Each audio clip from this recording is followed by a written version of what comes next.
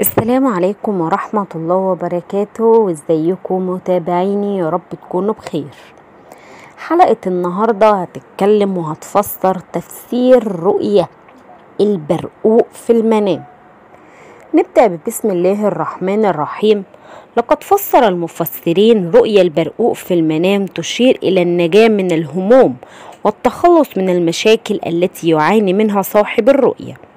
وتبدل الحال من حزن إلى فرح وسعادة. وأكل البرقوق في المنام يشير إلى الرزق الوفير والحياة السعيدة. من يرى في المنام إنه يأكل برقوق أخضر يشير إلى السعادة وراحة البال التي سوف يعيشها والبعد عن المشاكل. وإن كان شخص مديون فسوف تنتهي ديونه. البرقوق الأحمر في المنام يشير إلى النجاح والتوفيق في مجال العمل وزيادة المكاسب المادية وسوف يتقدم في المستقبل من نجاح لآخر. أكل البرقوق الأسمر في المنام يشير إلى تخطي جميع الحوائج والصعوبات التي يواجهها صاحب الحلم في مجال العمل وسيفتح له مجال آخر في العمل سيحقق منه مكاسب وفيرة ونجاح كبير. من يرى في المنام إنه يتناول برقوق حامض فهذا يشير إلى المشاكل والأحزان التي سوف يواجهها في المستقبل. من يجمع البرقوق في المنام يدل على الصعود صاحب الحلم للوصول إلى الأهداف. تفسير رؤيا البرقوق في المنام للمرأة الحامل. المرأة الحامل التي ترى في المنام إنها تأكل برقوق فهذا يدل على إن المولود سوف يأتي ولداً. وأيضا رؤيا المرأة العزباء البرقوق في المنام. من ترى في المنام إنها تأكل برقوق ناضج وحلو المذاق وهي فهذا يشير إلى الزواج القريب. وتفسير رؤيا البرقوق في المنام لابن سيرين.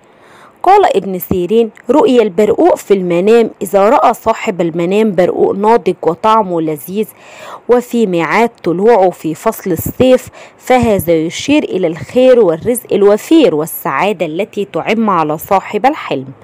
وإن كان البرقوق طالع من غير موعده وغير ناضج فهذا يشير إلى الهموم والأحزان والشقاء الذي سوف يمر به صاحب الحلم. وأيضا وفسر رؤية شجرة البلقوق البرقوق على إنها تشير إلى شخص يقدم خدمة للناس ينتفعون بها.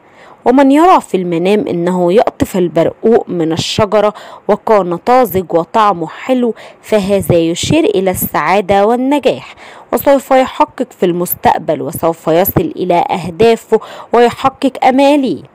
ومن يرى في المنام إنه يأكل برقوق غير ناضج فهذا يشير إلى عدم قدرته على الوصول إلى الأهداف.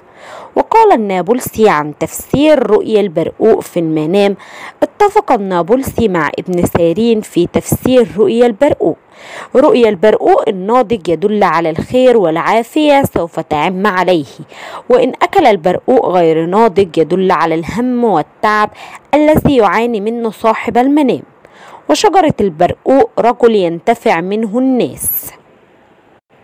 ودي تكون نهاية حلقة النهاردة عن تفسير ورؤية البرقوق في المنام. أتمنى الحلقة تنال إعجابكم وتكونوا استفدتوا منها وأتمنى كمان إنكم تدعموني باللايك والاشتراك في القناة. السلام عليكم ورحمة الله وبركاته.